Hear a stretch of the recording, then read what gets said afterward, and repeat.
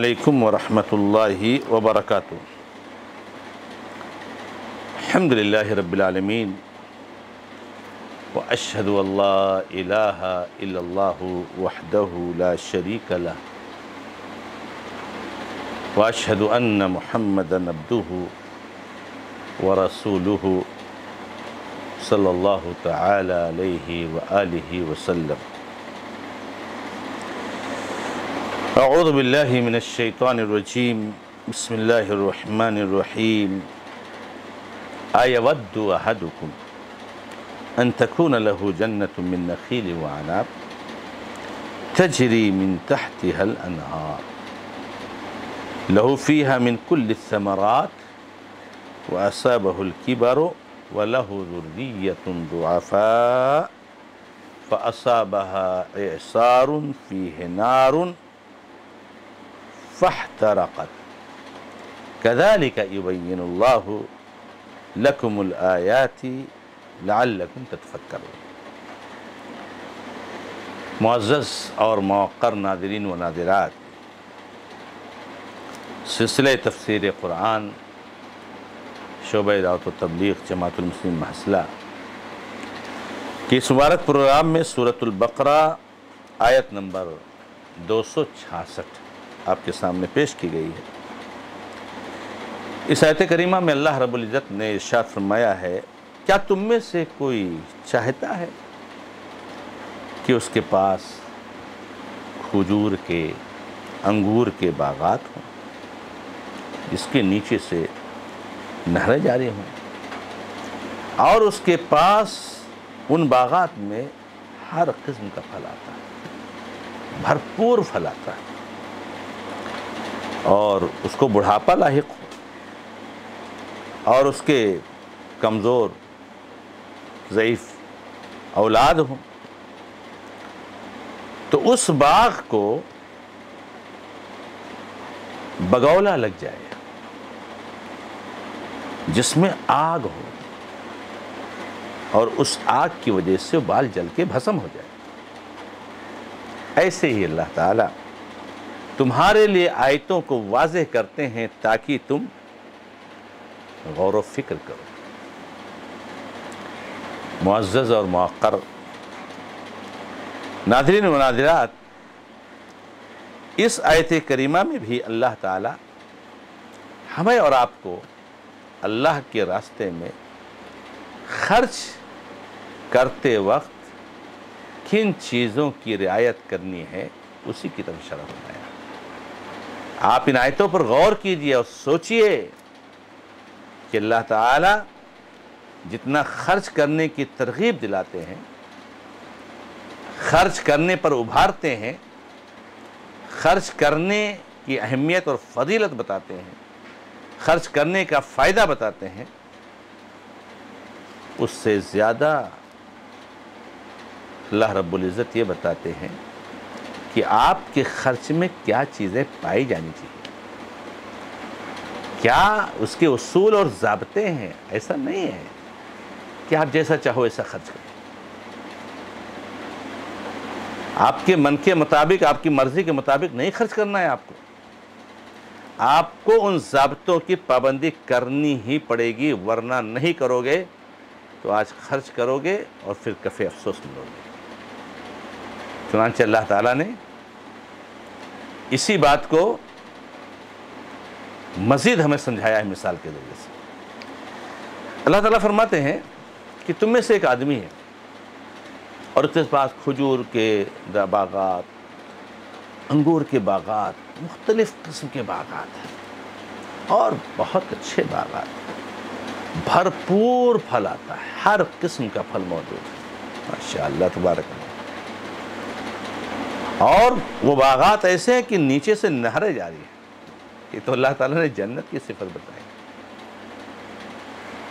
वो बाग सबसे ज़्यादा कीमती होता है कि जहाँ फल भी दरख्त भी खूब हों और खूब घने दरख्त हों और हर किस्म के फल के दरख्त हों और पानी का भरपूर इंतज़ाम क्योंकि पानी से ही तो फल आता है। इस तरीके से इंतज़ाम है कि बागात के नीचे से नहरें जारी हैं। कोई पानी की कमी नहीं तो हाँ, बेहतरीन बाग कीमती बाग फल देने वाला बाग हर तरह से पानी से बिल्कुल मुकम्मल वाफिर मकदार मौजूद बाग ऐसा बाग आपके पास है और हर तरह से फल आ रहा है। फलता है माशाल्लाह फलदार दरख्त। और आदमी बूढ़ा हो चुका है। आदमी बूढ़ा हो चुका है। और उसके पास कोई बुढ़ापे का सहारा भी नहीं। बड़ी मेहनत से उसने सजाया है इस बाग बड़ी मेहनत से उसने लगाया है इस बाग और अब बुढ़ापा हो गई, आ गया है, अब वो मेहनत कर भी नहीं सकता है। बाग माशाल्लाह लगाया है, खूब फल दे रहा है, खूब फल दे रहा है। अब वो मेहनत कर भी नहीं सकता है कि अगर कोई बात हो जाए तो मेहनत करके दोबारा बाग को सजाएगा? नहीं। और उसके आगे कोई है भी नहीं। बच्चे हैं अखराज है, ख़र्चा बहुत है। लेकिन वो बच्चे सिर्फ़ खर्चा होता है उन पर, वो कुछ दे नहीं सकते। कमज़ोर है बेचारे छोटे छोटे नन्हे मुन्ने बच्चे। वो अब्बा का सहारा भी नहीं बन सकते। बताइए, इस बुढ़ापे के मौके पर कि जब आप कुछ भी नहीं कर सकते और आपके पास कोई सहारा भी नहीं है और ऐसा भी नहीं है कि अगर नहीं मिला तो कोई मसला नहीं, ज़रूरियत है पूरी। इन पर खर्च करना है आपको। खर्च करना है आपको। ऐसी सिचुएशन में, ऐसी हालत में आपके बाग को बगौला लग जाए। आफत आ जाए। और ऐसी आफत कि उसमें आग हो और वो आग पूरे बाग को जलाकर भस्म कर क्या हाल होगा उस आदमी का? कोई आदमी कभी ऐसा इस चीज़ को बर्दाश्त कर सकता है? उसकी हालत क्या होगी? जो एक सहारा था, ज़रिए आमदनी था, बच्चों के पेट पालने का एक सबब था, वो बर्बाद हो गया। जल गया भसम कुछ भी फ़ायदा नहीं। ऐसे ही ये मुनाफिकीन जो खर्च करते हैं, ऐसे ही जो तोहहीद के बग़ैर खर्च करते हैं, ऐसे ही जो अल्लाह रब्बुल इज़्ज़त की दरजोई के अलावा किसी और मकसद के तहत खर्च करते हैं, ऐसे इन लोगों की मिसाल है कि ये खर्च तो खूब कर रहे हैं, खूब कर रहे हैं।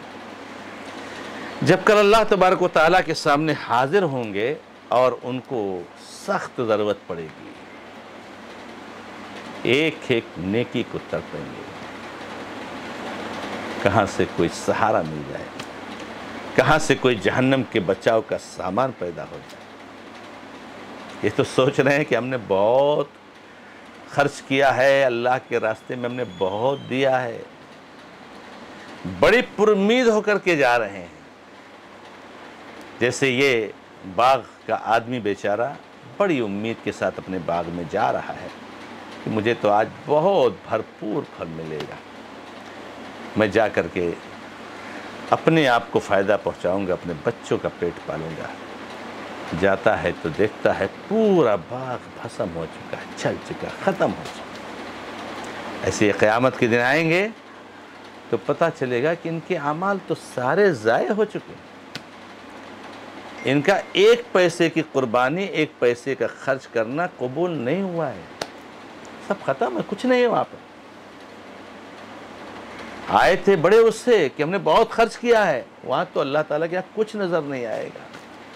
सारा अमल स्याह है, भस्म हो चुका है, क्योंकि उन्होंने दिखावे के लिए खर्च किया, क्योंकि उन्होंने अल्लाह के साथ शिरक किया।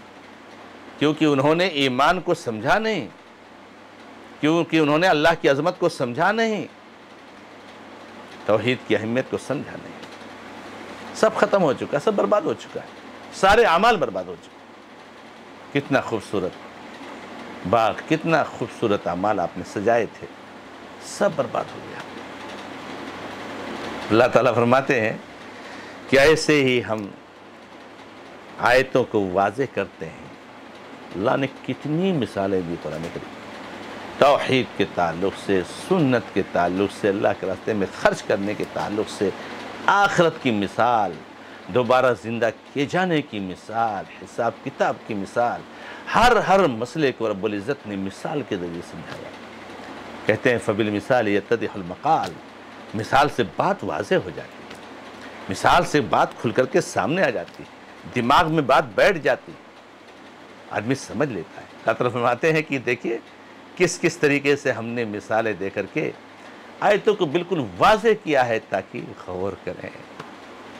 कुछ तो अफसोस करें, कुछ तो होश के नाखुन लें, कुछ तो अपने गिरीबान में झाँक करके देखें, कुछ तो अपनी ज़मीर को टटोलें, मुझसे गलती हो रही है कहीं। कहीं हो रही गलती, मैं गलती कर रहा हूँ। मेरा ईमान दुरुस्त नहीं है और अल्लाह के रास्ते में खर्च कर रहा हूँ। मेरे अंदर इखलास नहीं मौजूद है, रब्बुल इज़्ज़त के रास्ते में खर्च कर रहा हूँ। माल भी ज़ाय हो रहा है, कुछ भी मिल नहीं रहा है।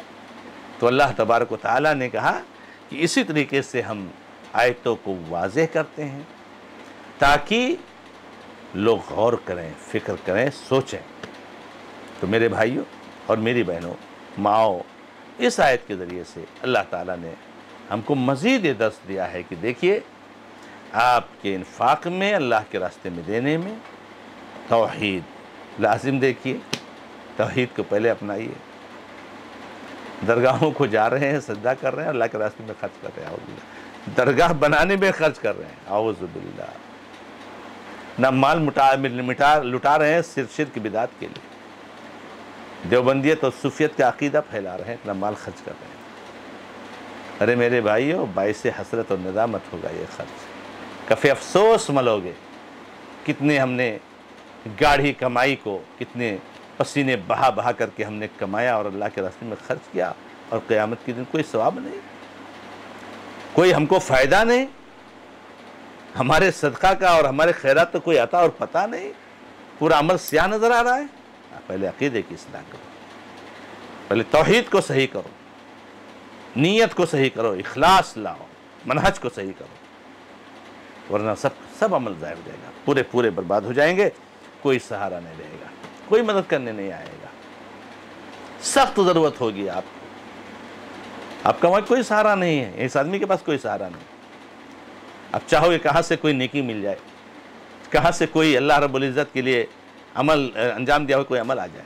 नहीं। इसलिए गौर करो इस पर।